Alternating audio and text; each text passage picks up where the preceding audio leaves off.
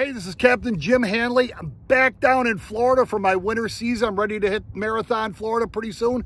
But I stopped with to visit with my buddy Jeff Fink. Jeff is a fellow Lake Erie fisherman, but he's also a retired? Retired Raymarine rep, so, rep, Shakespeare rep, U.S. Coast Guard captain, etc. He knows it all. Hey, I thought I'd stop and we're going to go over some depth finder basics because nobody knows better than Jeff. He's been he's been grooming me for a long time, and I started out with flashers.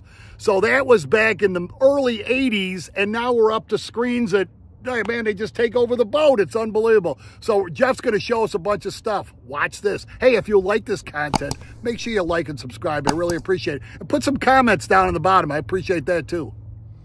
Hey, this is uh, Jeff Fink here. Uh, we're now going to get a little bit more in-depth at customizing our multifunction display. And this is pretty much the same for most all of the new multifunctions that are out there in the market now, whether it be Raymarine or Lowrance, Humminbird, Garmin, etc. You need to take a little bit of time when you get on your unit.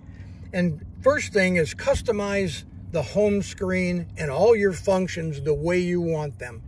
Once you get them done, you get out in the boat, you decide to do something different for the day, or you're going to target a different fish, or you may not fish at all. You're just going to run around and enjoy the day. You want to have a icon with the functions and the features that you want ready to go at a touch of a button rather than having to spend a lot of time going into menus and trying to find where everything is. So this is a home screen that I happen to have set up now. And as you can see, there are eight different windows in here of which I built every one of these windows with the features that I wanted. And you can do the same. What you do on any of these particular home screens in most of the units, they'll have a customized key. On our particular units here at Raymarine, you hold the screen in and a little window pops up and it says customize, delete, or you can rename it if you don't like the name that the machine gives you. You hit the customize button and it now puts me on that screen. This current screen is set up with a map on half of the screen and a fish finder on the other half of the screen, which is one of the most common particular uh, functions that I use when I'm running around, running offshore, looking at the map where I'm going, at the same time watching the bottom and trying to find the fish. Now, if you want to customize and change anything on this particular screen when you're on here, you have a couple different options. You have your layout screen, which when you touch it, it says full screen, two apps, three apps. You can do four apps if the screen is large enough to accept it. You can do side by side. You can do top and bottom. You can do three-way splits. If you want three functions, two functions, one function, whatever. I have this in two apps right now. And now when I touch this, you'll see a little box highlighted around the page that you can either keep or you can change it to something else. For our intensive purposes here, I'm going to change this one from the map to a radar. So I'm going to simply touch the radar icon and now you see this side switch to a radar. Now it jumps to the other side of the screen. When I touch this side of the screen, I'm going to go over here and I'm going to make this side a map. So now what you have is now I have a radar and a chart plotter, and I've taken my fish finder away on this particular screen. When I'm done and I have it where I want it, I hit next, and it now says up here, radar chart. If you like that name, you leave it alone. If you don't like it, you can touch the X, it'll erase that, and using the keyboard, you can type in whatever you want to name that page. And when you're done, you hit save. And now you can see that screen says radar chart. It's got the icons very easy to see what that page is going to do when I touch it. And as you can see, all the other pages I have built on here, for example, I decide I get to where I'm going, I want to look at a chirp fish finder and a down vision together. I touch that page and now it'll switch my machine into my chirp fish finder and my down vision on the other side of the screen at one touch of a button. Right now, I don't have to do anything everything will be done by the machine because of the way it is all set up. I get ready to go back and look at something different. I hit the home button again. And now I can go over and now I have my Sirius satellite weather for the area with the overlay of my map. And you can see here, I've got you know rain coming over here. This is all live down here in Florida. I've got little rain showers moving across the state. All these colors out here in the ocean and the bays is all the sea surface temperatures. It'll give me lightning strike indicators. However I want to set this up, a great way for me to quickly look. What most people have an issue with is when do they adjust sensitivity? How much sensitivity do you need to use? It's it can be tough a lot of times. Fortunately, all the machines nowadays allow you to pretty much play with the unit, try and get a good picture. If you mess it up, you can very easily go back to automatic mode and it'll reset just like you do with your phone. It messes up, you turn it off, turn it back on, it resets, it's back to the way it started. On these units here, when you go into the menu, on all the customers' different machines, whoever it is, there's a adjust sensitivity key. When you adjust the sensitivity key, you're going to get some different functions. Your, your gain, your auto, your surface filter, and as you saw down below there, you have all to auto. If you're in auto mode, okay, when it says reset sensitivity, it's going to put everything back to automatic and you click yes, it's going to make the machine go right back to the factory standards. So now there's been no customization done to this particular screen. Now I do want to go back and customize it.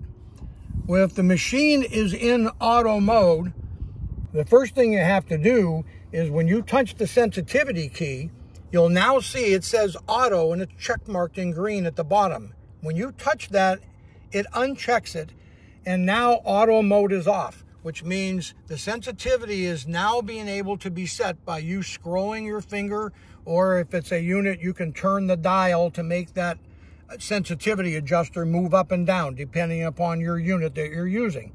This one happens to be a, a touchscreen and a button hybrid. If it's just touchscreen, you use your finger. If it's a button only mode, you just use the button. Or as it says with a hybrid, you can use either one. Now, for sensitivity wise, again, the key to sensitivity is maximizing the amount of return signals that you're seeing. That's what sensitivity is. Sensitivity is not the power of the unit sending the signal into the water. It's adjusting the receiver of the transducer to receive those signals back. So the more sensitivity you use, the more signals you're going to see. So it's very important in a lot of conditions that you can do a better job than the machine will do. And you can see more fish targets, better bottom structure, thermoclines, different functionalities when you can play with your sensitivity versus just a standard auto setting. Standard auto settings do a good job for the most part. For somebody who does not want to mess around with the machine, may not fish all that often. If you're a little bit of a serious fisherman, learn to play with your sensitivity. And remember, as we showed before, when you're in that sensitivity key, if you get all messed up, simply go down to the bottom and turn it back into auto, and it will now reset it back and let the machine do it for you. Now here on this machine, we have a dual card slot with the upper slot being number one and the bottom slot being number two. And on this particular unit in the back, I have an external card reader, which is, which is called the external slot. Now on the slots, you have to make sure that you do not save your waypoints to the card with your maps. Biggie, biggie. Biggie, biggie is right. Um, because what will happen is if your map card happens to be full or close to full with a lot of the map data and you start piling on external data, waypoints or different things on that card, it'll start erasing your maps and you don't want that to happen. So you take that blank card, you put it in the extra slot and once it's inserted in the extra slot, you go into your menu screen or your home screen and there's a tab on the bottom that says My Data. When you hit the data screen, you'll see a uh, you'll see a key at the bottom, and almost all the machines are the same, where it says import export. Some may say save waypoints, whatever the terminology is. You touch that, and you're now going to get an import export screen. And you will see on here a key that says save my data. So I'm going to touch that key and it's going to ask me, do I want to save all the data? And the data meaning all my waypoints, all my routes, and all my tracks. So if I want to save all of those, I touch the save all data key and it will save all of that data onto the card. If I only want to save waypoints and I have no tracks or routes I even want to worry about, you just touch the save waypoints key and it will only save your waypoints. So in this case, what we're going to do is we're going to save my data and we're going to choose all data, save all data. It's now going to ask me where to save it. Slot one, nope, that's my Navionics card. Slot two, nope, that's my Raymarine map. External one is my extra. So I'm going to touch external one. It's going to tell me today's date. It's going to say archive 11924. I'm going to hit save. It's now saving the data down below. Now it's done. It said saving is complete. Do I want to eject my card? No, I have an external reader. I leave it in because I save my waypoints and my data all the time. So I hit OK. And now I'm back out. I hit the X and close. I'm back to my home screen. Now what you can do is you can take that card out of that card file and you can take it and put it into another unit of somebody else's as long as they accept the GPX format. That is the format for waypoints and data to be saved in these new machines. And most of the companies accept GPS, GPX, excuse me, data. And it's nice because I can take my chip and take it to Jim's unit and put my waypoints onto his unit. Or I can take it home with a program and I can edit it at home. I can do all kinds of things with it now that I have it on the card. But the biggest deal is you've got a backup. If you have to do some software updates or you have to do anything and that unit has to get reset where it's going to wipe the data from the screen, you have it all backed up on that micro SD card or that SD card, which you can then put it back into the machine, and then put all your data back, which was how what we're going to show you how to do next. Okay, now we're back. Uh, we've saved our waypoints and put them onto our uh, SD or micro SD card. And now what we want to do is we're going to put them back into the machine and reload them. Either you got a new machine or you had to do some software updates and you had to erase your data, but you want to put those waypoints or the waypoints, routes, and tracks back in.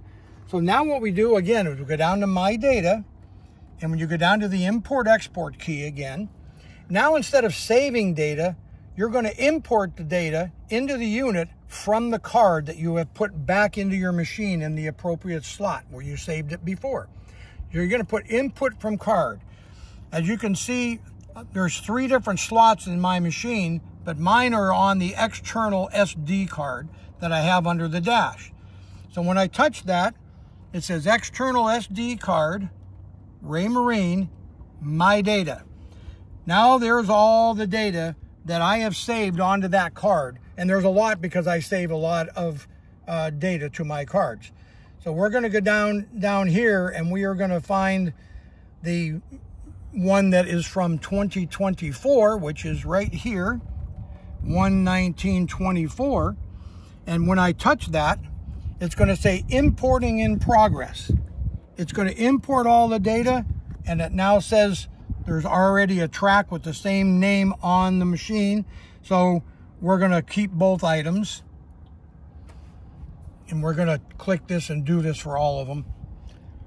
And now it says import complete. I've reached my limit of, because I've doubled it on my machine. I never erased anything. So anyhow, now we have everything imported back into the machine and now you can start using that machine just as if you've had it from before. Hey Jeff, that was some good stuff, man. People are going to learn a lot. You know, it's just those simple things that really make using your depth finder a lot easier. Absolutely. And if you just take a little bit of time and learn your machines, and it'll just make your life a lot easier not having to continuously go back and forth in the menus all the time, especially when you're on the water Yep. in the middle of catching fish. That's right. Or whatever. Yep, good stuff. Hey, folks, enjoy all this beautiful creation while you're out here. Take a moment to look up and give thanks. I am Captain Jim. We'll see you in the next video.